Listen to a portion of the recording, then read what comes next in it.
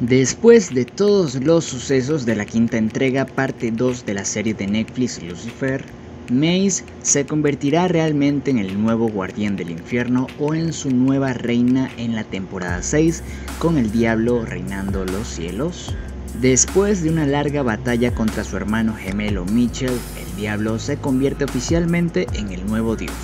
Por ende, se avecina una gran reorganización del status quo, particularmente para Mace. Después de haber tratado de conseguir un alma en la quinta temporada, Mace hace el gran descubrimiento que tuvo todo este tiempo. Pero con el diablo convirtiéndose en Dios, Mace solicita convertirse en la reina del infierno. Sin embargo, tener un alma podría complicar las cosas para Mace.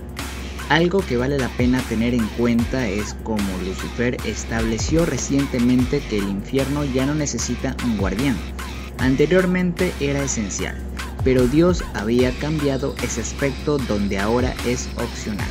El diablo, como Dios, no será bien recibido por algunos, y tal vez ahí es donde el infierno se convierte en un nuevo problema.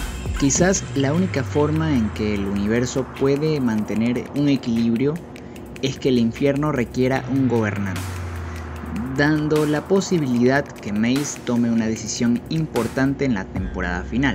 Puede ser que Mace se quede con su alma pero pierda el trono o puede renunciar a su alma para gobernar el infierno, como la figura en el poder.